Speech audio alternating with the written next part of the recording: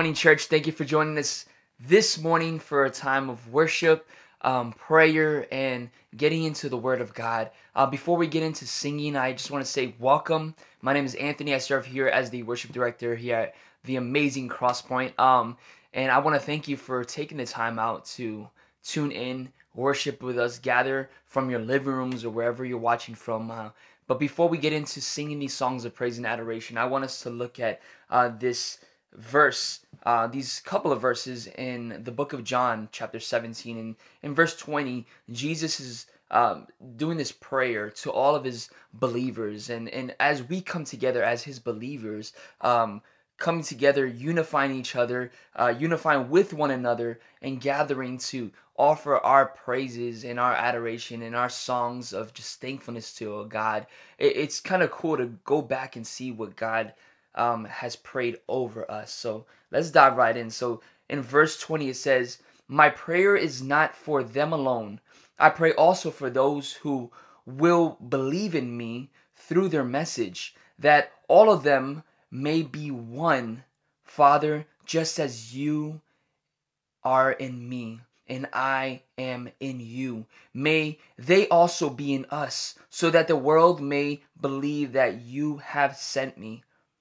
I have given them glory that you the same glory that you gave me that they may be one as we are one I and them and you and me may they be brought to complete unity to let the world know that you sent me and have loved me even as you have loved me this is this is the God of the Bible. This is the God that we serve. This is the God that we sing to. And, and thanks be to Jesus Christ for making a way that we are um, perfect and blameless in a in, in the eyes of such a holy God. But I love how he right here is putting so much emphasis in unity. Um, so that the world may see what the church is supposed to look like, the unifying power of the gathering of the saints. Um, so as we go into a time of prayer, as we go into a time of worshiping right now, let us look at the chaos in this world and let us look back to the scriptures. Let us look back to God and remember that God has called us to be unified, especially holding a, a, special charge to His church to be unified in a way that may inspire and impact the world for better. Church, let us rise to our feet and let us worship the King of Kings and the Lord of Lords, Jesus Christ, this morning. Let us sing.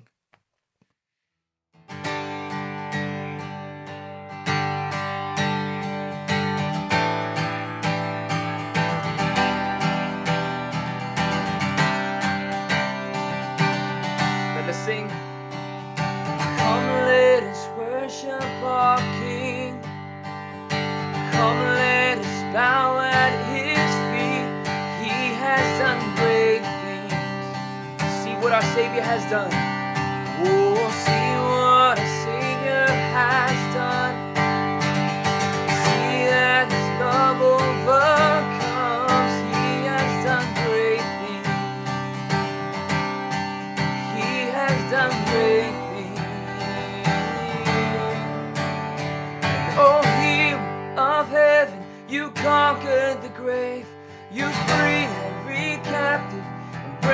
every chain, oh God.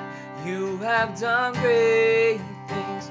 We dance in your freedom, awaken alive. Oh Jesus, our Savior, your name lifted high, oh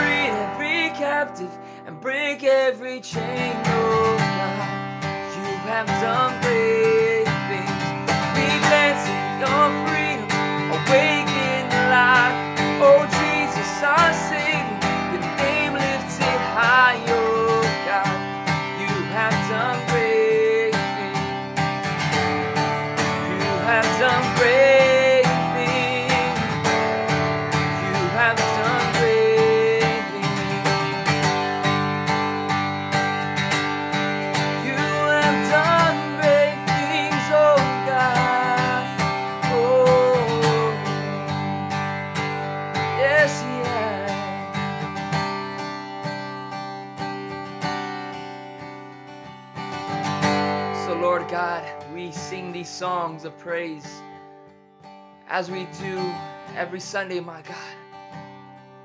Joining with the choir that's already proclaiming these truths in the heaven, my God. We give our lives to you, my God, for you already gave your entire life for us, Lord. Thank you for providing a way for making it possible for our praise to have meaning and purpose, Lord, and not just being resounding cymbals and noisemakers, my God, but having the meaning and the power to glorify a heavenly God. I pray that you may take this time and prep our hearts and our minds. Focus us in, Lord, to receive of the power of your word, Lord Jesus. Change us. We are ready to receive what you have prepped for us this week, my God. We love you. We trust in you with everything that we possess, God. Because without you, there is no meaning in what we do, Lord. We love you. And in the mighty name of Jesus, church, we all say, Amen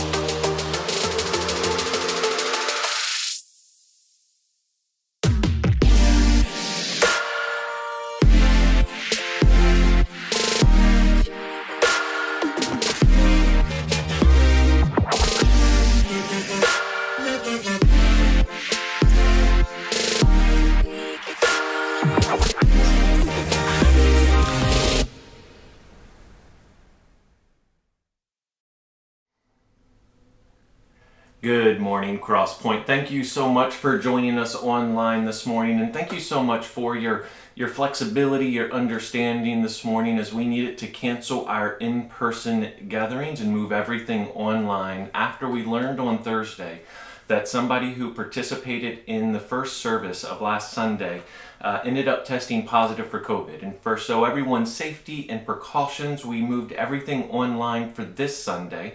But then next Sunday, we are planning to be back in person at 9 a.m. and 10:30 at South Creek Middle School. So we've we've talked with uh, doctors at Advent Health and to make sure that this is going to give enough time. Exposure was minimal since that we were practicing social distancing and people were wearing masks.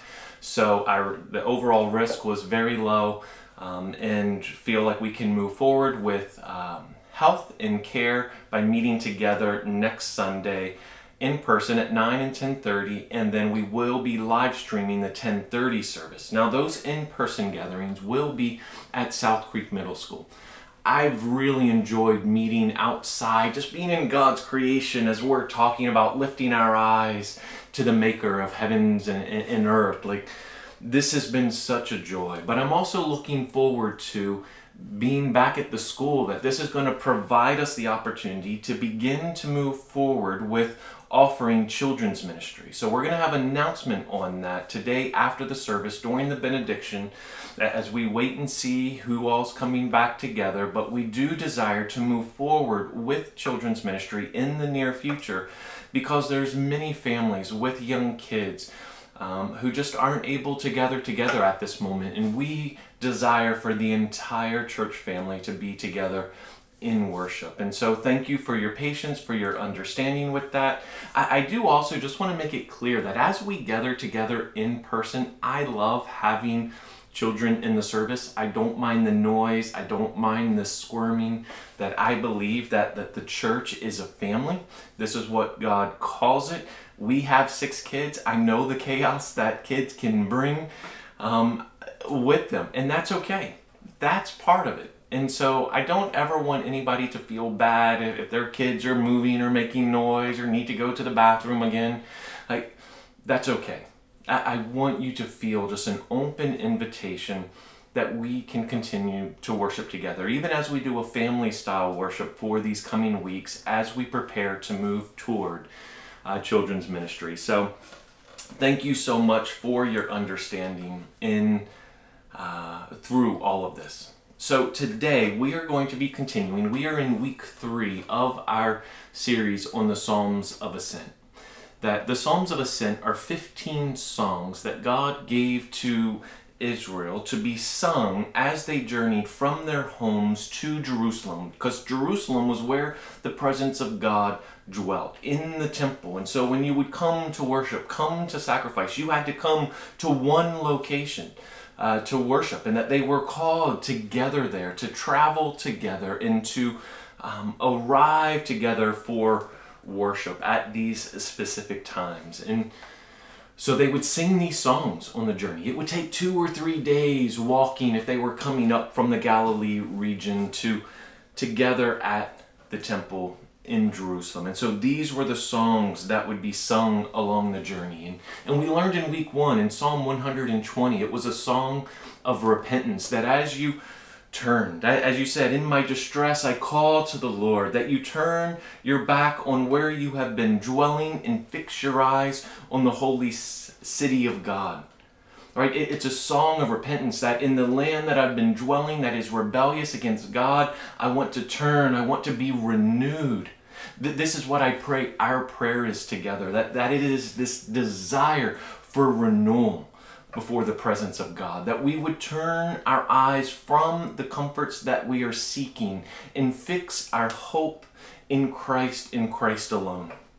That is in the first song. The second song was a song of providence that we looked at last week, that, that along the journey, in the long journey of obedience, there are places of false worship where we can lift our eyes and fix them on them and, and think that, oh, maybe I'll trust in that. And it's like, no, I place my hope, my trust in the Lord, in the maker of heaven and earth. And we keep our eyes fixed together on his holy city. This is where the psalmist says, Where does my help come from? My help comes from the Lord.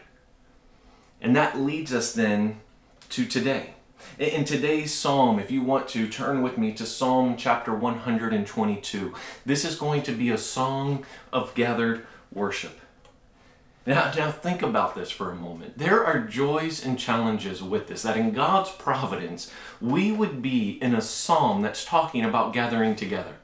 And we needed to move our worship service online like this is not lost on me today. It has already been a hard week. Like when we talk about this, when we consider the last six, seven months, there are joys and challenges in the reality of talking about gathering together in worship this morning. Because there's joys in that we know the awkwardness that it can be to, to stand in your living room and sing worship like we just did. That is vastly different from gathering together with others to lift our voices, is it not? The, the distractions that come as we're home and then just to start the service and trying to gather together. Do we do it at the same time or do we gather late? It, it can be challenging.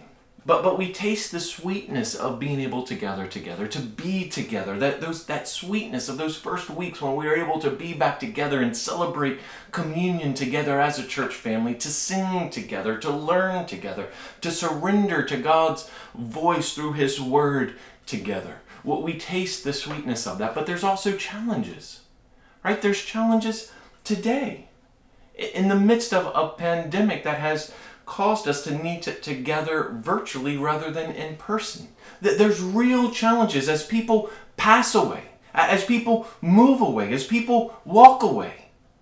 In the group that we travel with, that we gather together with in this journey of faith, as it changes over time, and we say goodbye to friends and we say hello to new friends, and we continue to fix our eyes on the holy city of God we continue to walk forward toward Him. These are the joys and challenges during this time as we approach this passage that we cannot ignore. But we press into to say, Lord, teach me. Let me see your word. Let me be convicted. Let me be encouraged this morning. So let's read the passage together, pray, and then dive in. Psalm 122, beginning in verse 1. I was glad when they said to me, Let us go to the house of the Lord. Our feet have been standing within your gates, O Jerusalem. Jerusalem, built as a city that is bound firmly together, to which tribes go up, the tribes of the Lord, as was decreed for Israel, to give thanks to the name of the Lord. There, thrones for judgment were set, the thrones of the house of David. Pray for the peace of Jerusalem. May they be secure who love you. Peace be within your walls and security within your towers. For my brothers and companions' sake, I will say, Peace be with you. For the sake of the house of the Lord our God, I will seek your good. Let's pray. Lord, I thank you. I thank you for your word, and I pray that this morning, as we gather, that you would open our minds, open our hearts to hear from you this morning. Lord, use my words. Whatever I say that comes from me, let it fall away and be quickly forgotten. But whatever is from you, Lord, let it settle with weight and comfort and conviction on our hearts this morning. Lord, and we ask all of this in Jesus' name. Amen. There's a significant transition in this psalm compared to Psalm 120 and 121 because in the first ones it talks about I. You know, in my distress, I called on the Lord. And then last week, as we looked about it, I lift my eyes to the hills. But then, as we notice in verses 3 through 8, it kind of it changes to now a collective saying, and you, you hope in, in the Lord. Let your foot not be moved. And now there's this transition in these verses that said, I was glad when they said to me, Let us go. And me becomes we, it becomes us, it becomes a collective. Let us go to the Lord. And there was gladness in that. There was joy in the sense of being together and not just being alone in this journey, not just walking by ourselves, but in being encouraged and walking with others. Like, have you ever tried to exercise on your own? Verse exercising under the encouragement and pushing of a teammate or coach right? Like you run out of strength a little bit quicker when you're just doing it on your own. You, you, you say you're done, you've reached your end, you reached your limit a little bit quicker. But when you have a teammate who's pushing you, when you have a coach who's telling you to, to keep running, keep going, you can dig a little bit deeper, you can run a little bit further, you can go a little bit faster, that, that your boundary is beyond what you perceive it to be. And they say, keep going, keep going here, run with me, keep pace with me. And you cross that finish line and you're out of breath, but you look over to, to your friend with gratitude. Thank you for pushing me further, faster than I thought I could go. And together you cross that finish line. That is what is being said here. See, it is saying, I was glad when they said to me, Let us go to the house of the Lord. It's that friend, it's that spouse who says when the alarm goes off, No, let's get up. Let's go to the house of the Lord. Let's gather together. Let's not just hit the snooze button and go back to sleep. Let's not just head out and, and go to the beach. Let's gather together. Let's do it. And you're tired and you're faint and it's been a long week, but you say, okay, let's do it. And it pushes you a little bit beyond what you would just push yourself to do. We need one another. And it says that he was glad. He was glad when they said, Let us go to the house of the Lord. This is the significant transition as it moves from just us individually in these songs on the road to transformation to now be traveling together. But then it says, in our feet have been standing within the gates, O Jerusalem. See, all of this movement, these are psalms of ascent. These are songs that are being sung on a two, three day journey from the home through the wilderness to Jerusalem, to the city where the temple of God was built, where his presence dwelt. And now the movement has ceased. The climbing has stopped. And there is stillness. There is standing. This word is literally motionless. it, it is a respectful planting in the ground. This is when all movement ceases. The noises have been quieted. The motion of life is stilled. The journey has arrived. The joking and the laughter from the walking, the tears and the hurts of your feet, the fears and the frustrations along the way are all silenced in the presence of God, in their stillness. Like, can you imagine?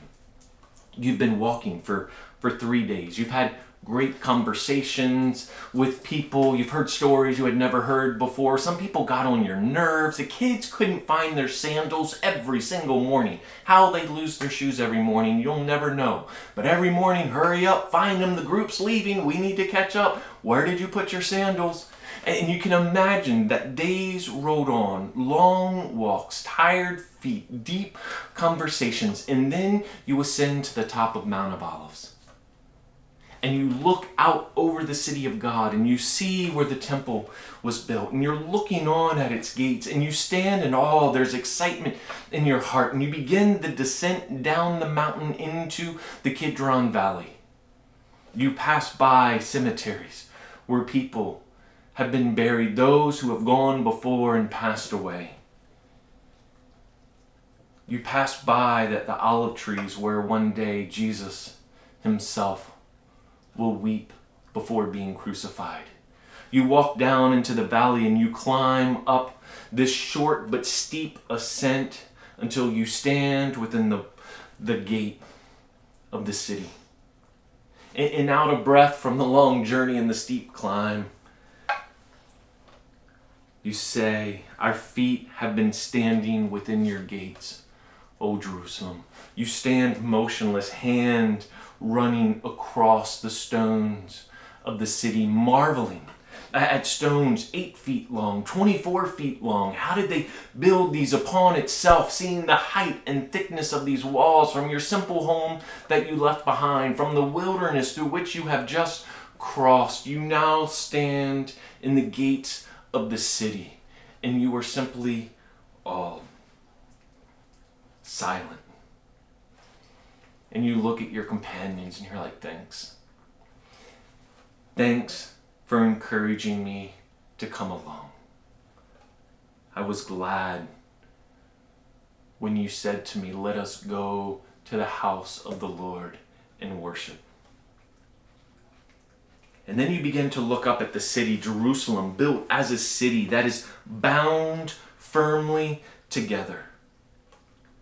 That the, the walls and the gates and, and the towers, the, the building of the city, it's magnificent. Every time that you enter it, you see its magnificence, its magnitude as you look up at the height of the, the walls. How did the architects fit these stones on top of one another? How did the strength of the oxen pull them to this place? The largest cornerstone to the smallest of details carved in, this, in the stone. You see a city built and bonded together, standing adjacent to your travel companions who have also been built and bonded together in this journey that together, with unity and oneness and solidarity, you have journeyed together to meet with God. See, Eugene Peterson says this in his book, A Long Road of Obedience, in the same direction that the city itself was a kind of architectural metaphor for what worship is, that all the pieces of masonry fit compactly, all the building stones fit harmoniously. There were no loose stones, no leftover pieces, no awkward gaps in the walls or towers. It was well built, compactly built, skillfully built, at unity with itself. See, just as the city of Jerusalem was built, each stone on top of another, so we are being built together as a spiritual house being fit together. And we see that, that this nature, even as he goes on, to which the tribes go up, the tribes of the Lord, that different people from different family lines, all coming to the same place, all gathering together at one place at the presence of God in all their differences and all their uniqueness, and yet being built together in the same way that the various aspects and sizes and shapes of the stones were fit together to build the city of God. So we are being built together to form something that is greater than ourselves. Right? We are not just loose stones out in a field saying, Look, I am a city unto myself but we are but a stone that is being fit together with others to form a house that God desires. We cannot stand alone. We need one another. We are formed together. We are framed together.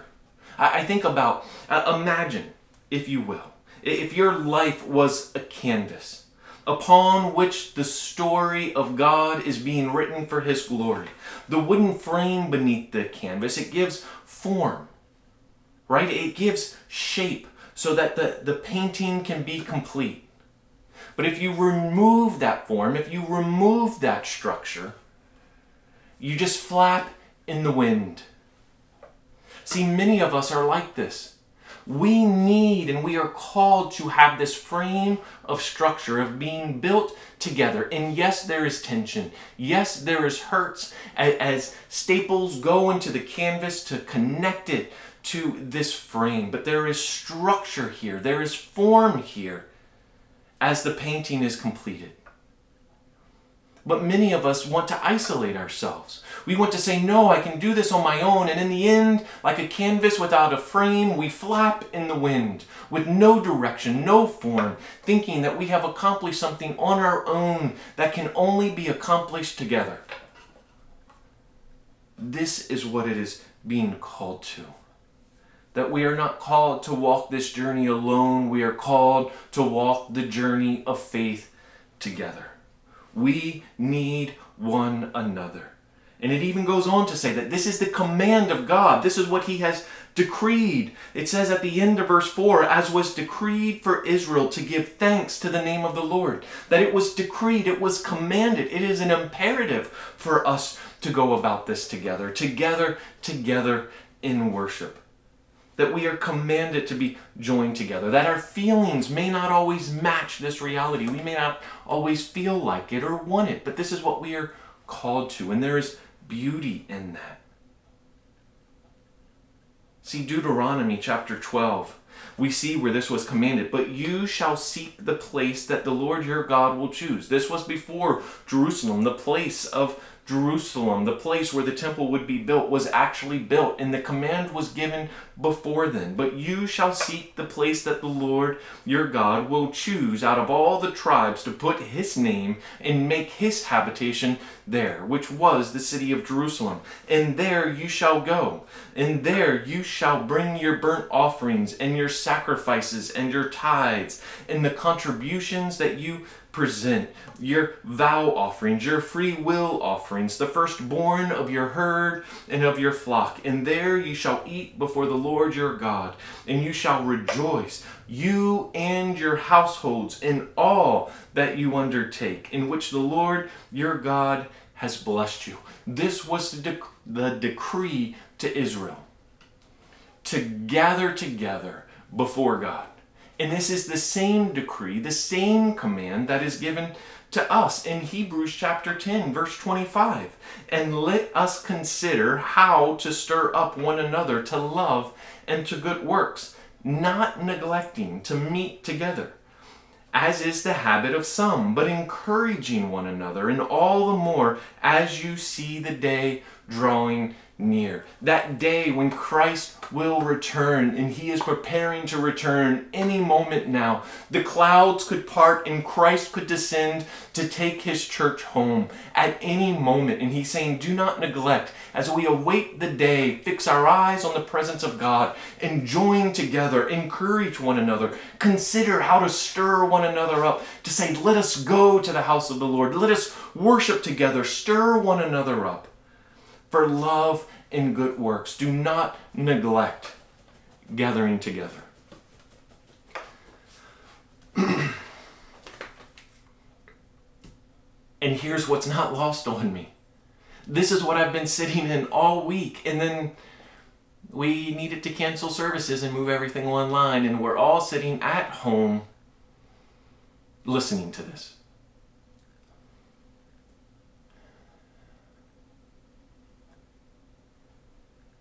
And I think, like, God knew this. This didn't catch him by surprise. So, what is he wanting to say to us in the midst of all this?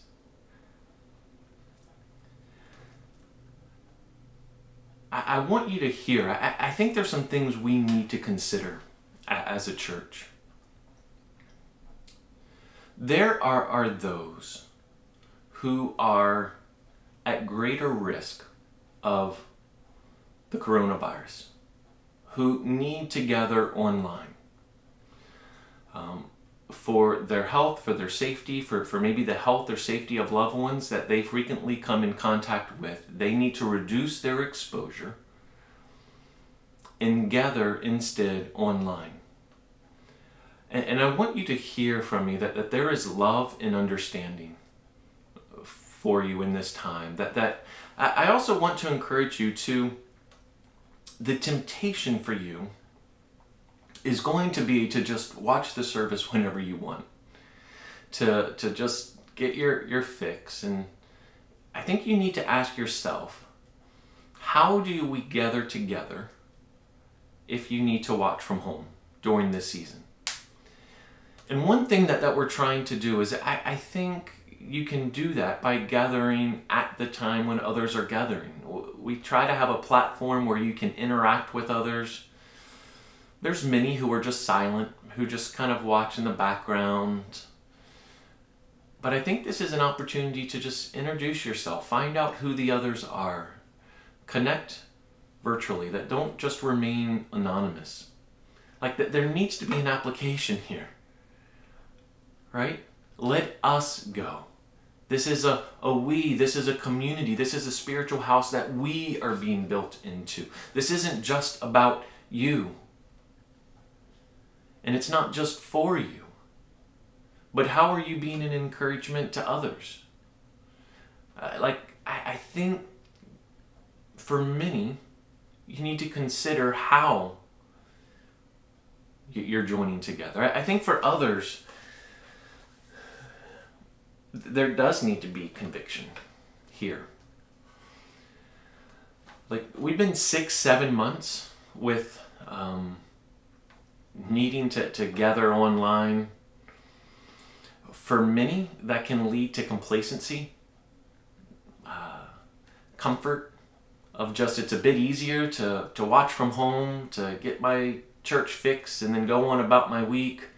Do I really need to get the kids up? Do I really need to gather together? Yes. We are called to that. We are commanded to that. To gather together. Some of us have given in to comfort, to complacency, some even to anxiety. That as more time has gone by, the harder it is to re engage. We're planning to, to gather together next week. We're taking precautions to do that safely. Some need to take that step and, and join together. To begin to, to re engage, to register for the service, and, and to worship together. That I want you to hear me saying, Come, let us go to the house of the Lord together. Now, here's the thing I realize that, that this is it's sensitive, it's hard. I trust the Holy Spirit in you. I trust that as as you lay your heart before him that he will comfort you, that if you need to remain distance during this time, that you do not feel condemnation or guilt, but that you receive love and understanding from us that we want to care and love you well. For others, I pray that the Holy Spirit would convict. That if, is, if it is appropriate for you to regather, that the Holy Spirit would convict and lead you in that way. We want to walk with you. I think this is the best way that we apply this passage in this season. Because we're called we're called to do life together. And it's not even just on Sunday. This isn't like, hey, just come for the Sunday event, come to church. What this passage is saying is so much more than that. And we see that even as it goes on to verse 6 that there's three ways that we're going to see here that, that the church as a spiritual building that we are called to respond that isn't just on Sunday, but I believe it's, it's what happens Monday through Saturday, Sunday through Sunday. A life lived together for the glory of God. And I say that because look at the first word in verse 6 pray. Pray for the peace of Jerusalem. Now, here's the unique thing about that word. See, that word pray, it is not the formal word that would be used if we were praying together in a worship service. This is a very informal word. It, it's a word that would not be used within the gathered service. See, Eugene Peterson in his book says this that it is the word Hebrews would use when they asked for a second helping of bread, if still hungry, or if directions, if lost. Worship together does not satisfy our hunger of God, it whets our appetite.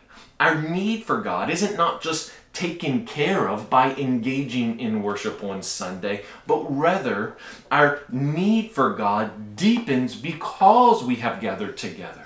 See, it's not like we just come together on Sunday to get our God fix and then move on about our week.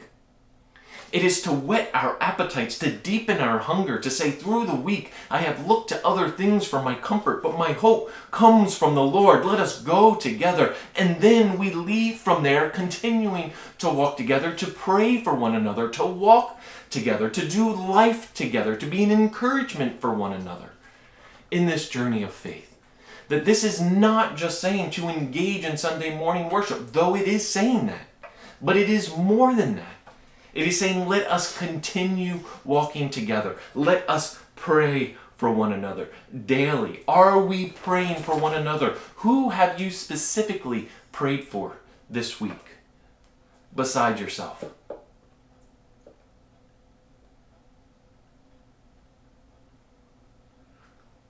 And we pray for the peace of Jerusalem. This word is shalom.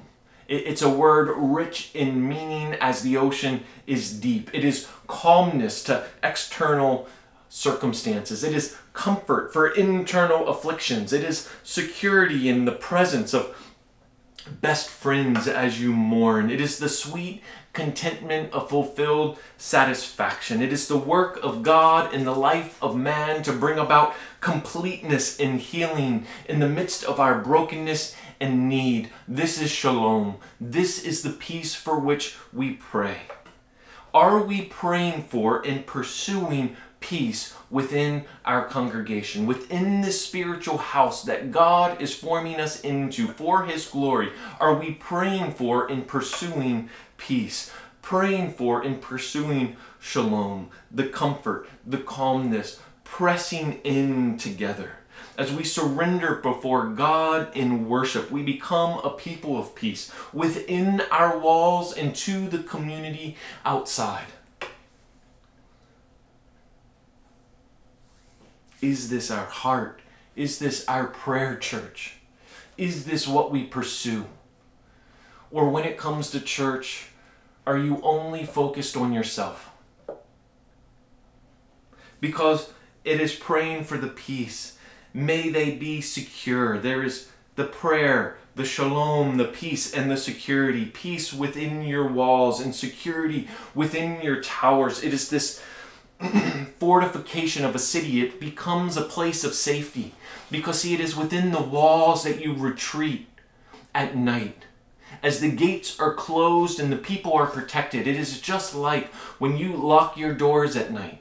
When you close the garage door and you lock the door and you go to sleep and there is a sense of security that you can rest knowing that, that there is protection there. This is the kind of security that the people of God bring for one another? That are you moving away from people, isolating yourself, or are you leaning in? Are you chasing after other comforts, or are you pursuing comfort and security within one another? Because here's the thing 1 Peter chapter 2, verses 4 and 5 says this As you come to Jesus, a living stone who was rejected by men, but in the sight of God he is chosen and precious. That Christ is a living stone. He is our living cornerstone of a spiritual house. And he goes on to say in this passage, You yourselves, like living stones, are being built up as a spiritual house, to be a holy priesthood, to offer spiritual sacrifices acceptable to God through Jesus Christ. We are being built into a spiritual house. You are a living stone that is meant to fix, be fixed together for the glory of God. This isn't, we cannot just be an individual living stone out in a field and assume that we ourselves are the temple of God, that we alone are the church. The church is the gathering of Christ's body, being fit together, formed together, built together, bonded together for His glory.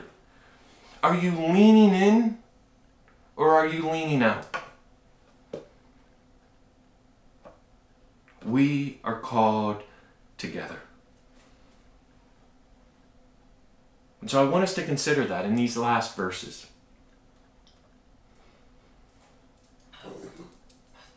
For my brothers and companions' sake, I will say, peace be within you.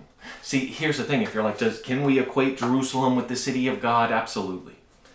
Is this talking about people and the city? Absolutely. For my brothers and companions' sake, I will say, Peace be within you. The same thing that has been said of the walls of the city is being said of the people with whom he is journeying with in faith. It is for brothers and companions. When you think of the church, do you think of yourself only? Or are you thinking of others? Are you thinking only of what you can get out of it, what you need, how others are relating to you, or are you considering how others need you, how others are leaning on you for comfort, for security? See, the American church will tempt you to consume. American evangelicalism is a, buffet, a smorgasbord. To take what you need and move on. But God's church, the Christian church, is calling us to surrender to service. That for my brothers and companions' sake, are you saying, for my sake, this is what I need, and leaning out? Or are you saying, for the, the sake of my brothers, for my companions, let me lean in? And I will say to them, Peace be within you. We are called to serve, we are called to love. But here's the thing I also don't want you to hear that, that the end goal is only for our companions, only for others. That is not an end in and of itself. It's not just saying, so love others, self denial. Eh, you know, it's true. Matthew 23 says, The greatest among you shall be your servant. We are called to serve others, but the reason why we serve others, that is not the goal, but that is a means to the goal. We serve others for a greater purpose. It is not just for them, but it is for the glory of God. Look at this final verse in verse 9. For the sake of the house of the Lord our God, I will seek your good. See, it is for his sake. It is for the sake of God in his glory, in his name, that we seek the good of others. This is what we're called to. Seeking the good of others is secondary, it's a means to a greater end. And that greater end is for God's glory. It is for the sake of His name. The church exists for the glory of God. We seek the good of others together in community for the glory of God. This is what we are called to. This is a song of gathered worship. This is a song of saying, Together, together, let us go and stand in awe before a holy God. And so this morning, in application, I, want to encourage you in, in three ways to, to do one thing to, to check your heart. Again, I trust the Holy Spirit within you. And so, would you just lay your heart before God this morning and, ask Him to, to search you, to know you, your, your motivations, your heart? Is the leaning of your heart towards individualism? or community? Like, is your intention to just go it alone, do it yourself? It's about me, myself, and I. What do I need? What am I getting? Or is your heart leaning towards community, together? Serving others, contributing, stirring one another up. For my brothers and sisters, all to the glory of God.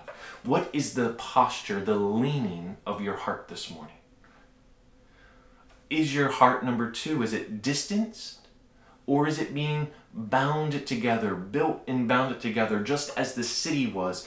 Individual living stones unified together into one house of worship. Are you pressing in? Are you seeking to, to close the gaps? Are we becoming something better together than any of us could accomplish on our own? Or do you find yourself just off in a field, a living stone disconnected from everyone? And, and here's my thing I'm not asking how others are relating to you, that's for them. But I'm asking you, what is your heart, your leaning towards others? Are you leaning in or leaning out? Are you, number three, to check your heart, consuming or contributing? Are you only here to, to get what you can and then go on about your week, disconnected from everyone else? You've been fed, filled, and now you're disconnected the rest of the week? Or are you here to contribute? to be a blessing, to be a place of security and comfort, to stir one another up for love and good works.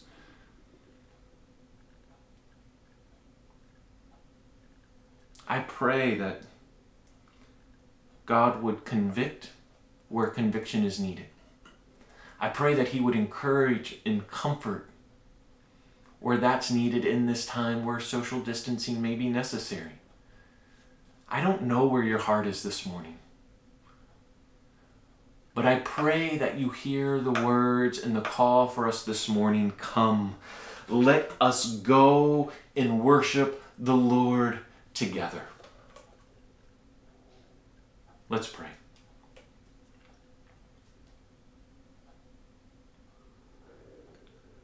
Lord, I pray that you would speak to our hearts this morning.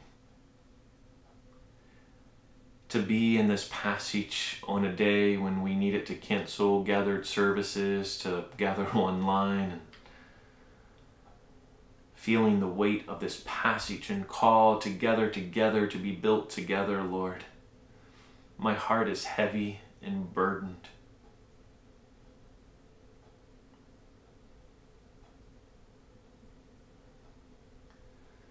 Lord, would you help us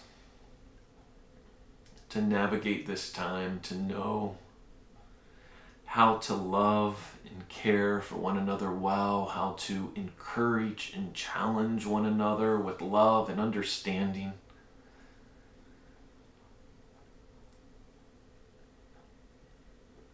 Lord, would you build and bond us together for your glory? Would you unite our hearts? Would you call all the diversity together in unity at the foot of the cross, Lord? Our hope is in you and you alone, Lord. At the foot of the cross, we are unified. At the foot of the cross, we are bounded together. At the foot of the cross, we find our peace and our security and our comfort. And so, Lord, together, we stand motionless and in awe of you. And in Jesus' name, amen. Let us continue worshiping. If you guys are familiar with the song, just close your eyes and meditate on the words and sing along with us. You give life, you are love, you bring light to the darkness, you give hope, you restore every heart that is broken. For great are you. Let's sing it again. You give life and you are love. You give life, you are love. You bring light to the darkness. You give hope, you restore every heart that is broken. For great are you, Lord. It's your breath in our lungs. So we pour out our praise. We pour out our praise. It's your breath in our lungs. So we pour out our praise to you only.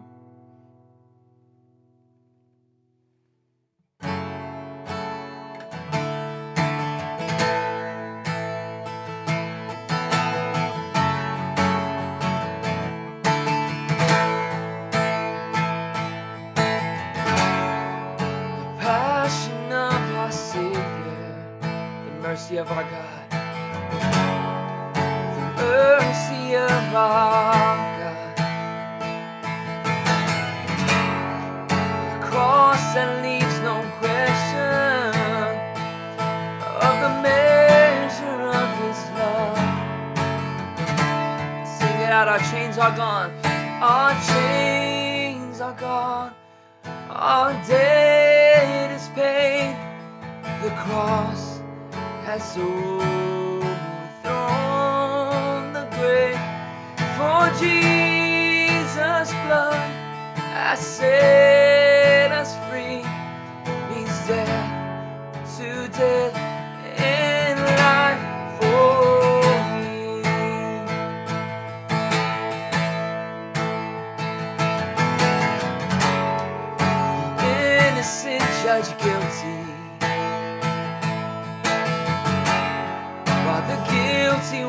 walks free. Death will be his portion. Death will be his portion. And our portion liberty. Yeah. And our chains are gone. The that's over.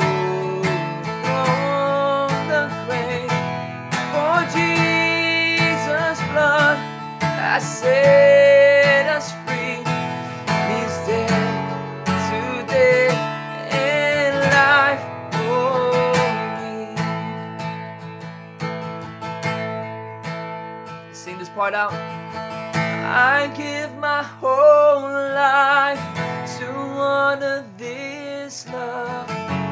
By the Lamb who was slain, I'm forgiven. The sinner Savior, crowned him forever.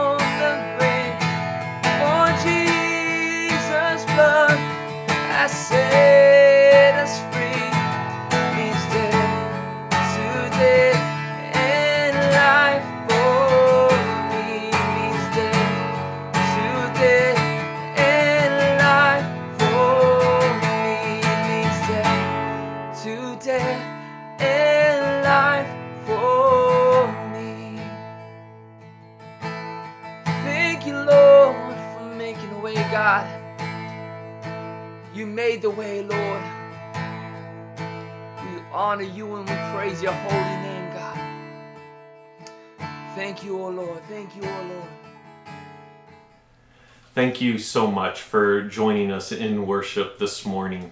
If you are new to CrossPointe, we would love to hear from you. Uh, the easiest way to really get in contact is if you were to text the word XPointe to the number 97000. So simply you can pull out your phone, type in X P O I N T E to the number 97000.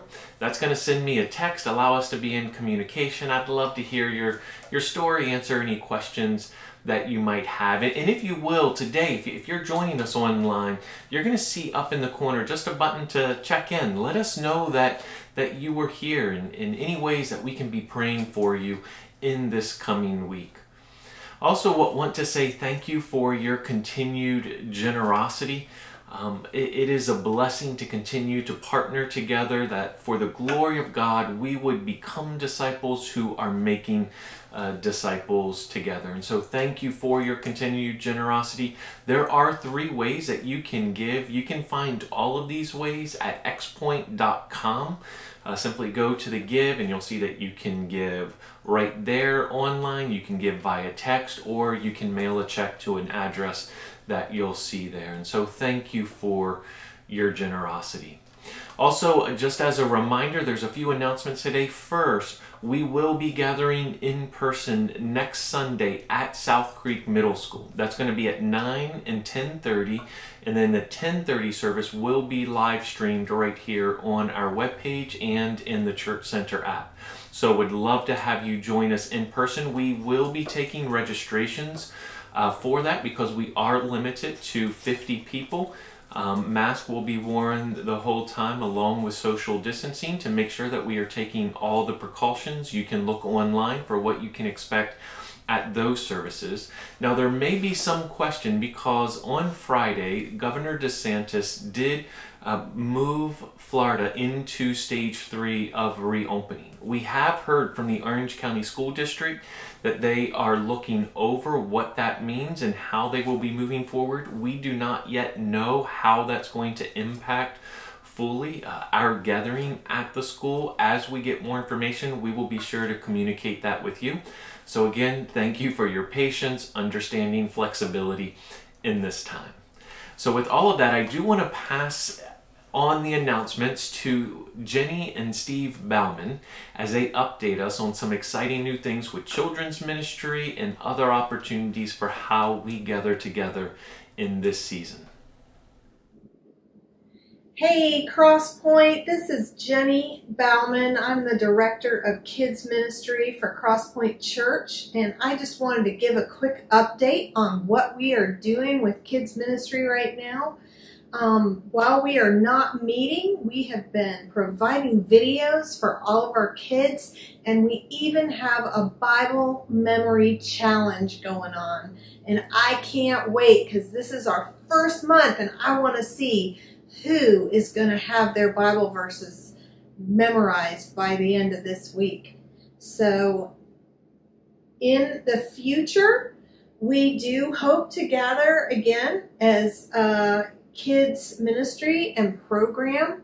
What we plan to do first is to meet as a congregation and see how things go, see how many volunteers we have and, and everything like that.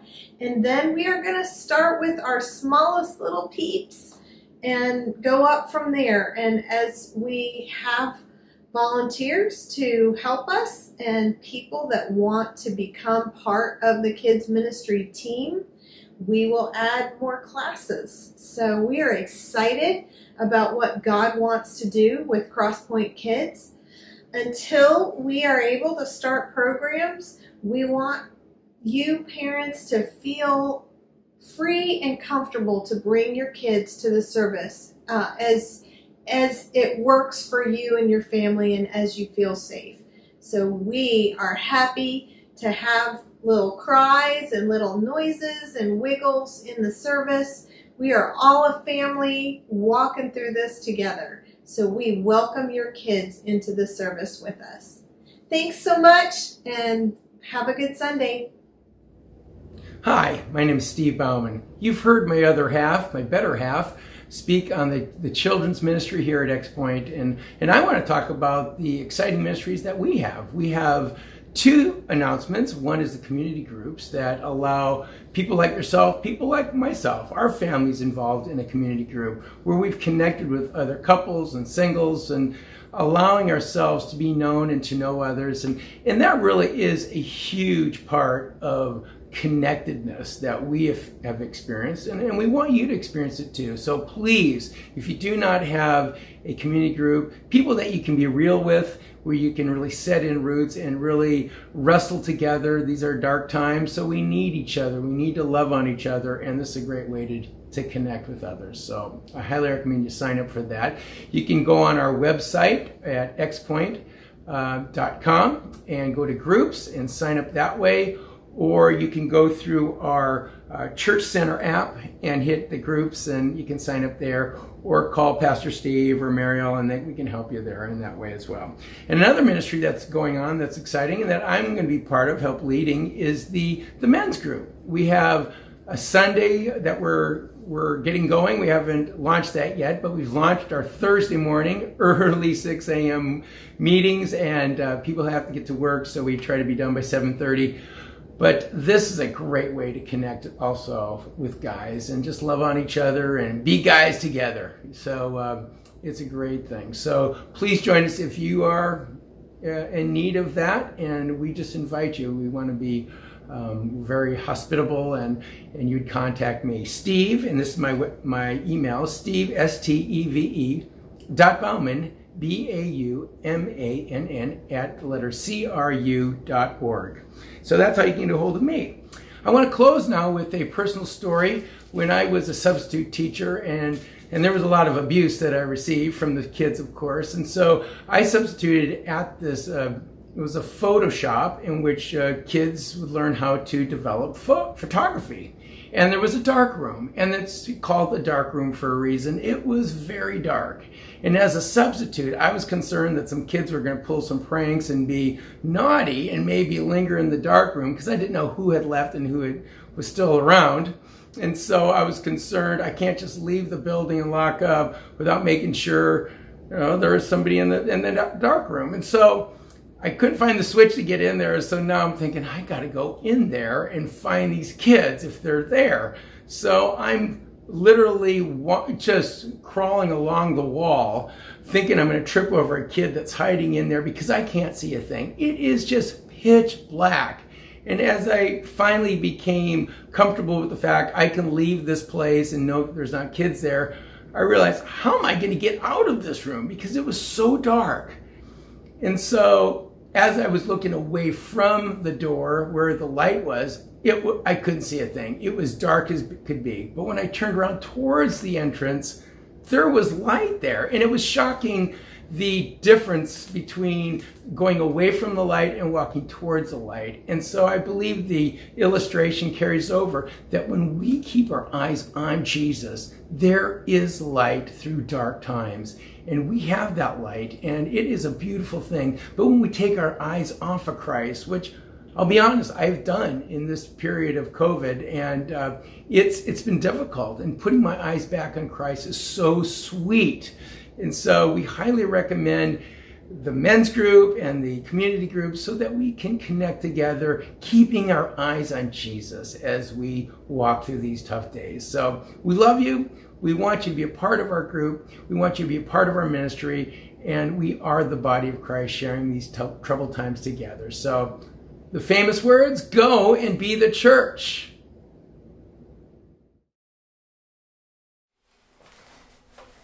Testing, testing. And then receive the. Uh, And that's why you put your phone on silent. Thank you so much. Oh.